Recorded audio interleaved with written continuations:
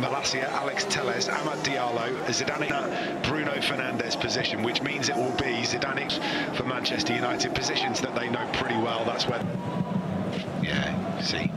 You've Competition now, even with the aforementioned Fernandes, who isn't here. I'm not quite sure what he was attempting there, but it, it worked, so we'll go with it. Let victory, and now it comes to Iqbal, left-hand side, drifts out of play.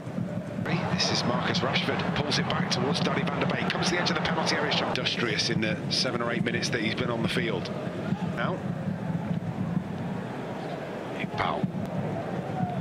Iqbal again.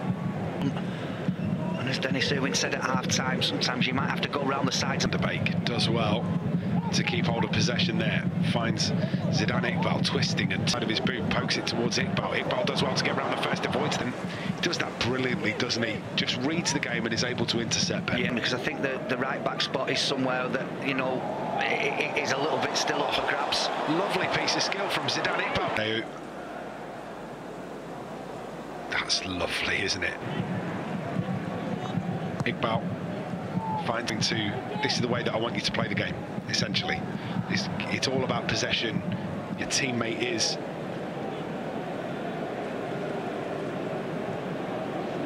Down again.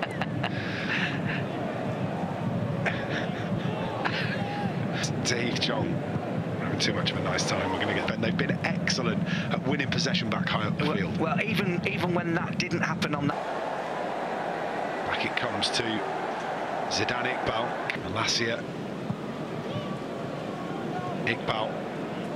One, two, three touches. It's simple. Iqbal now does. Gets it back, Zidane Iqbal. But can he surprise his fullback and, and actually go outside him? Chance here about this earlier. That the Middlesbrough goal was uh, just substitutions. Would you like to tell everybody what they were? Uh, Alex might have been the big mistake. Anyway, we'll move on. Uh, this is uh, Zidane Iqbal for Manchester United.